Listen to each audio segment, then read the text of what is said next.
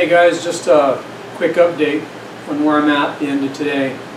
I thought I'd actually start getting some wire in this uh, control cabinet, but instead I got it, the back panel mounted inside the cabinet.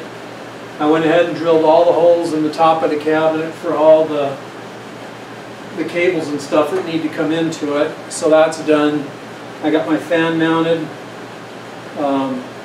I also got the motherboard mounted. You can see right here there was enough room perfectly to fit an ATX motherboard down the bottom there. That's going to work out just perfectly in the power supply. I'm going to use some industrial Velcro to just Velcro it down to the bottom of the cabinet. It should be just fine there.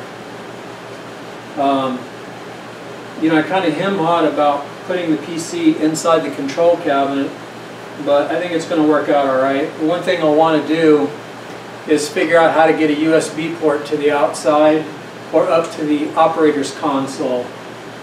Um, operator's console is probably going to be the best. I might use a USB hub because I'm using a touchscreen monitor um, and it's USB. And if I want a keyboard, I'll probably put it up there as well. So that's basically three devices, a USB keyboard, the touchscreen monitor is USB, and if I want to use a USB memory stick to transfer uh, files back and forth, um, I'll need that. And if I want Wi-Fi um, to do any uh, TeamViewer sessions with Centroid if needed, although that's temporary, so I can always just plug in a USB, a Wi-Fi USB stick into a USB port and do what I need to do and then take it out. So that's where we're at at the end of uh, today. Gosh, I think all the holes are in it. Um, I'll go handheld and kind of take you around to uh, all the holes and the connections to the main cabinet. Um, let's see. Uh, one of the things when I was drilling the cabinet, obviously the back panel wasn't in there, um, so that any uh, metal swarf from the drilling the holes in the cabinet fell to the bottom of my vacuum all out. And until I was certain that I was done, did I go ahead and put the entire back panel assembly in there so as to avoid getting any chips into the all-in-one DC. That would be not good. Uh, metal chips on the circuit boards just don't work out well. So uh, anyway, let's go handheld and I'll kind of give you a quick walk around, let you see what I've been up to today. Okay, these two holes in the top of the cabinet one of them is for the spindle motor cable that goes up to the spindle motor. That'll drop in here. And the one in the back, I have a pneumatic valve on my uh, power drawbar.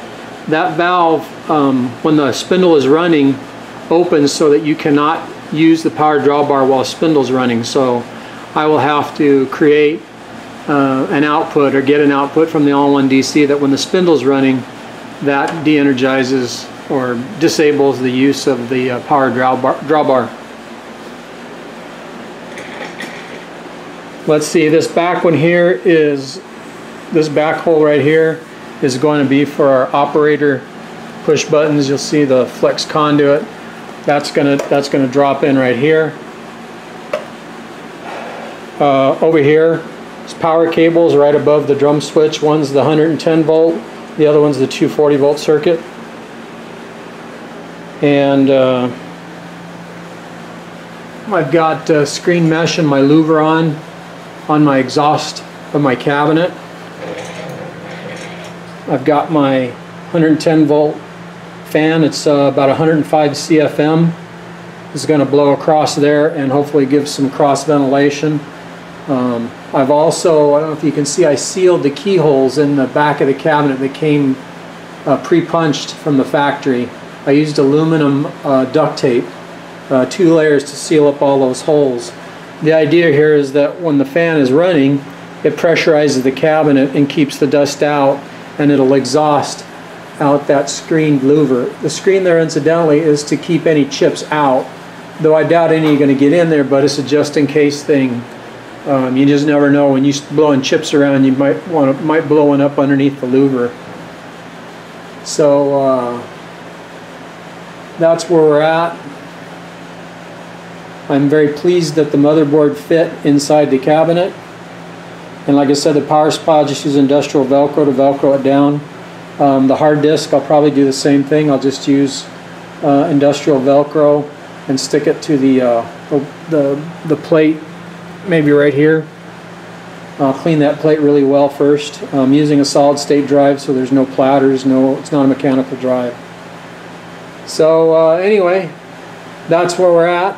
Um, I've also made up my my power cables. I don't know, you can see them there hanging on my vise.